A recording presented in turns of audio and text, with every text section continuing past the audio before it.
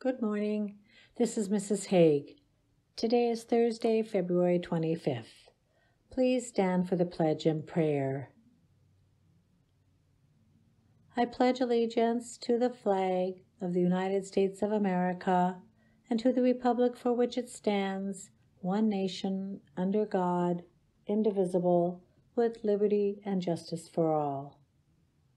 In the name of the Father, and of the Son, and of the Holy Spirit, amen. Lord, may I be wakeful at sunrise to begin a new day for you, cheerful at sunset for having done my work for you, thankful at night for the beauty of the universe. And may I add what little may be in me to your great world. Amen. In the name of the Father, and of the Son, and of the Holy Spirit. Amen.